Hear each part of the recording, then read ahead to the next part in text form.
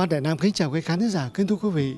À, như đài SPTN đã loan tin trước đây, vào sáng sớm ngày 23 tháng 1 2018, nghệ sĩ Lão Thành Văn Trung, một người đã cống hiến rất nhiều à, cuộc đời của ông cho nghệ thuật sân khấu, đã ra đi vào sáng sớm ngày 23 tháng 1 2018.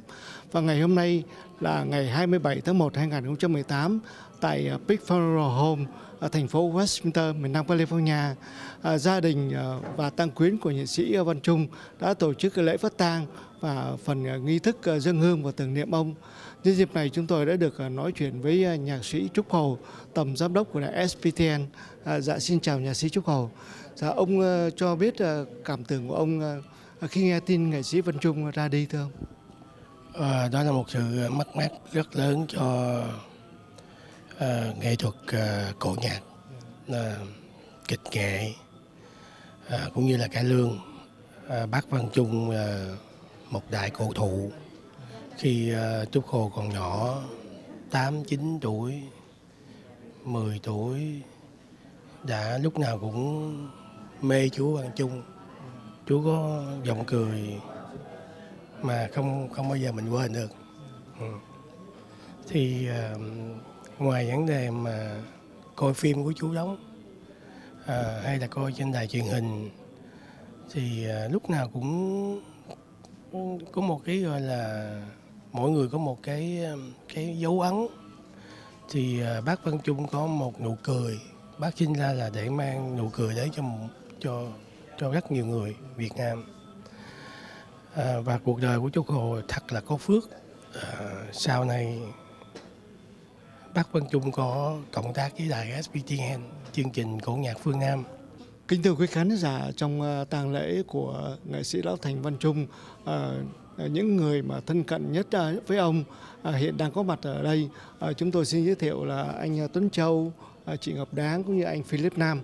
Dạ, thưa À, các anh chị, à, trong những ngày mà bác Bảy à, gần ra đi, thì các anh chị là những người thân nhất mà luôn luôn gần gũi với bác. Trong tới cho tới lúc mà bác ra đi thì anh anh Tuấn Châu và chị Ngọc Đáng có thể kể vào những cái giờ phút cuối của bác trong chương trình cổ nhạc phương Nam à, từ 7 giờ tới 8 giờ rưỡi thì um, Tuấn Châu cùng với Ngọc Đáng à, tất cả anh em trong đó cũng là Philip Nam hôm đó thì vắng mặt à, không có trong cái cái chương trình à, thì tự nhiên cái cái cái cái linh tính à, nói thôi à, mỗi ngày đều đến thăm bác Bảy nhưng mà cái tối nay tự nhiên nó thôi phải đi thăm mới được thì khi mà Tuấn Châu cùng với Ngọc Đáng, Hoàng Phúc, à, những anh em trong Vĩnh Khang, Trúc My đến thì nghe tin là 11 giờ bắt đầu có thể cho bác Bảy ngủ để bác Bảy chuẩn bị đi. Thì Tuấn Châu mới gọi Philip Nam từ Phụ Na mới chạy lên.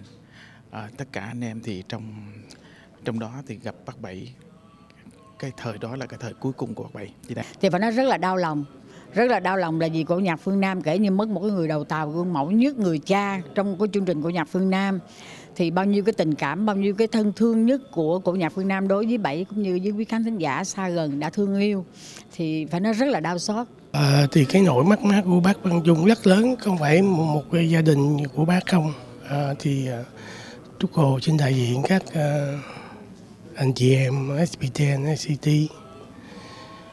à, um, thành thật à, chia buồn cùng gia đình của bác Quang Trung à, chia buồn cùng tất cả những người ờ, cùng thực hiện chương trình cổ nhạc phương Nam với bác Quang Trung chị Ngọc Đá anh Tuấn Châu.